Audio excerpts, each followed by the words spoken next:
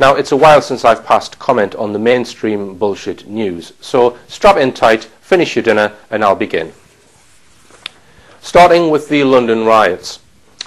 Now, hang on, did I say riots? Were they really riots? Don't people normally get injured in riots? Don't people normally fight in riots?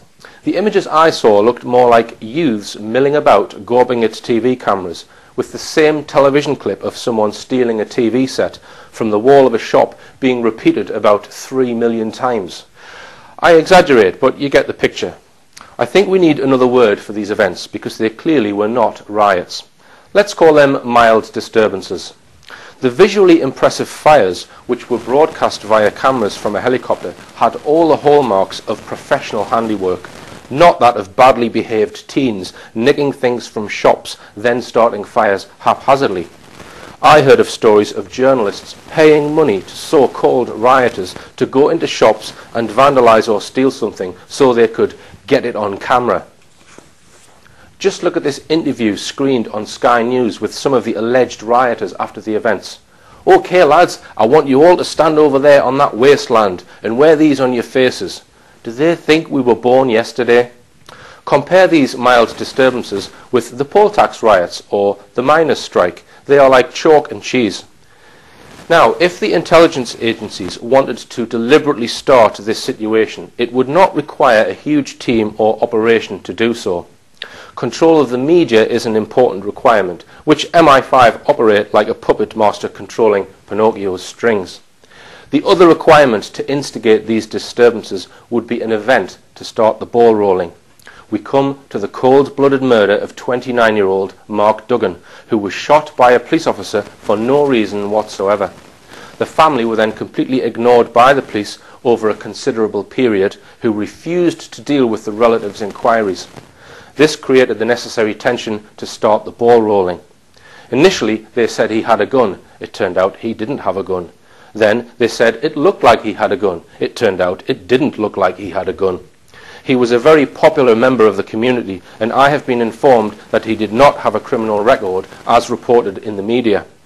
If this was an orchestrated event, they couldn't have chosen a better target to cause maximum revolt than choosing Mark Duggan. Why wasn't the police officer who shot him immediately arrested and detained like anyone else would have been if they shot someone for no reason? Instead, the police complaints authority stepped in. What a bunch of chocolate fire guards they are. They couldn't lie straight in bed. Most people would dismiss such theories, mainly because they cannot see a motive for the authorities wanting to start a riot. What possible motive would there be? Surely this is just making more work for themselves. It would be such a crazy thing to do. These are the same kind of comments we hear from 9-11 and 7-7 conspiracy deniers when pointing out that events were in fact orchestrated from behind a veil by intelligence agencies. Here are a few things that have happened as a result of the mild disturbances the Home Office has proposed new police powers to allow them to clear the streets and tell the public to leave an area during a riot or other mild disturbance. The power will entitle the police superintendent to declare a specific district a public no-go area for a limited time. The US is allegedly so concerned about security in the UK at the 2012 Olympics, it is preparing to send up to 1,000 of its agents, including 500 from the FBI, to provide protection for America's contestants and diplomats.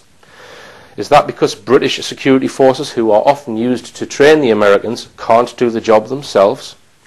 During the Olympics, the military were initially seconded to provide some maritime surveillance off Weymouth and Portland near the Olympic sailing venue, but will now be expanded to include vehicle checks at all Olympic venues and other specialist roles. The cost of the security for the Olympics is now being estimated at more than £2 billion as more military officers are being drafted in to conduct security checks at venues. Does somebody know something we don't? One person who used to live in the affected area in Tottenham and who knows some of the families involved is Jackie Noyes. In this YouTube clip, filmed just after the killing of Mark Duggan, Jackie reacts to the situation. Hi, I just felt like I had to make this video. Um, certain issues have made me really angry. And it's close to home for me because I was born and I was raised in Tottenham, yeah. Born in Stokey, raised in Tottenham. Used to live on Broadwater Farm, then I lived on Seven Sisters, yeah. So I know the area well, know people down there. Still got family down there, right? What's made me vex, okay? Thursday, a man was shot, his name was Mark, outside Tottenham Hale Police Station, yeah? I was listening to the story from it first broke, okay? Witness statements say the man did not have a gun. I repeat, yeah? Mark was not carrying a gun. Witness statements from the event say that two men were asked to get out of a vehicle. One was a minicab driver, one was Mark, yeah? They were asked to get onto the floor, okay? And then there was three shots heard. And that was three shots by the police. Yeah, they shot the man cold-blooded in the head and killed the brother on the floor blatantly like that in front of people at the tube station, right? Children, people there, adults, everything. The police just went round the car and killed, killed, killed the brother one time, okay? Now that's, that's fair enough. But the thing is, the police did not even inform the family of Mark what had happened to him. He had to be named, as all the media is saying, he's named on the road, as in the police didn't give them official information. Nobody gave the media this man's name. He was named on road because people have had to say who he was, right? And the thing is, if they're supposed to have shot him in the head, the police couldn't ID him. If he was carrying no ID, how would the police know who he was, okay? So anyway, his friends have named him. He's been named from road. So last night, this happened last week, right? 4th of August this happened. So last night, there was a peaceful protest by Mark's family. They want answers. They want to know why they weren't informed by the police. They made a peaceful protest. They went to the station. They walked from Broadwater Farm to Tottenham High Road and they went to the station seeking answers. They wanted to speak to a senior police officer. They were ignored. Nobody came out to that family. They've had no answers. They don't know what's happened to their son, their brother, their uncle. You know, it's a family member. How would you feel if you heard that a family of a member, family member of yours had just been cold-blooded, shot in the head, right, for nothing at all? Man weren't even carrying a gun. Yet we hear in the media that there's a gun has been found. and he had a gun. Not one single witness from Tottenham Hale has turned around and said that they've seen Mark holding a gun. Just remember that, people, okay? Don't believe everything you hear in the media and everything you read, because more time they've got ulterior motives and things are happening because they want to change laws or do something else in society. So don't believe everything that you read and you hear, okay? My sister also knows this guy well, and she says he's a fam he's a family guy, he's got four children, he's no gangster, he's no gangster. And can you also tell me this, yeah? How did the how did the media manage to get a picture of Mark all up like this, making gun gestures in his face, yeah? So you can find a picture of the man that you've murdered and killed on road, yeah? But you can't inform the family what's happened to this guy. I find that disgusting, absolutely disgusting, and I can totally understand why the family are angry and upset. Okay, they've lost their son, their brother, their uncle. I can understand that I feel for them. So what happens last night, Saturday night, down in Tottenham, Tottenham High Road, after this peaceful protest, yeah? Some people decided to kick off. They're burning shit. But why are you burning down shops? Why are you troubling your own high road, right? Why are you robbing people, your own people on the street, yeah? You're, you're burning down shops. You're mashing up your own ends. Who do you think is going to build Tottenham back up now? right? Who do you think is going to build up your area? Do you think people are going to take time to build up Tottenham and make it somewhere? Do you think so? I don't think so. And when you're sitting at home with your stolen laptops and whatever else you took here, I hope you feel guilty because you did that in the name of a man that was killed. What, all this, yeah? Look at the pictures of Tottenham. When you walk down your high street tomorrow or next week, yeah, you feel proud for what you've done to your high road. Look at the, what, what you've done to Tottenham, yeah? And it makes me feel sick. I have memories on that high road.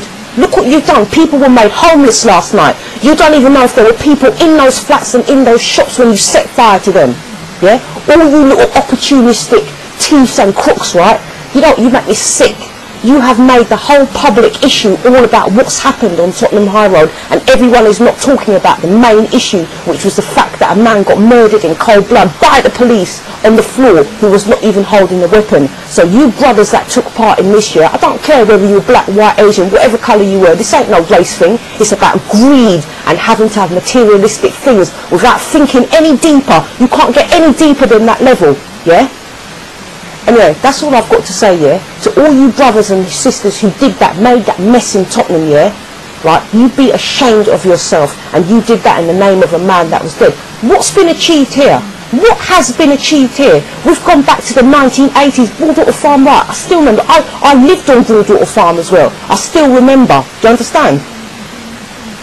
You lot have just made me sick, and I hope you, you get to see this video. If you lot, if anyone watching this video, and you know certain people at that riot, yeah, and they made all that mess, you send this video to them, because you lot are disgusting, and you've disgusted me, and I'm ashamed, right? And, and once again, sympathy and condolences go out to Mark Duggan's family. I feel for you. I'm so sorry. But those little idiots that did that, you make me sick, guys. You make me sick. So who was the officer that shot Mark Duggan? We, the public, need to know more about him, and I will explain why. On this show, we have discussed, with the help of researcher Neil Sanders, Manchurian candidate-style killings. This is where a person is selected, then put under mind control using hypnosis and other techniques, and programmed to go and kill someone. Is this not a possibility in this case? Stay with me here, because here is my logic. If this was an orchestrated event, and Duggan was deliberately killed to trigger the riots, what police officer in their right mind would agree to do such a thing, bearing in mind what might happen to him afterwards, potentially a life sentence? the easiest way for the orchestrators would be to use the extremely well practiced tool of mind control.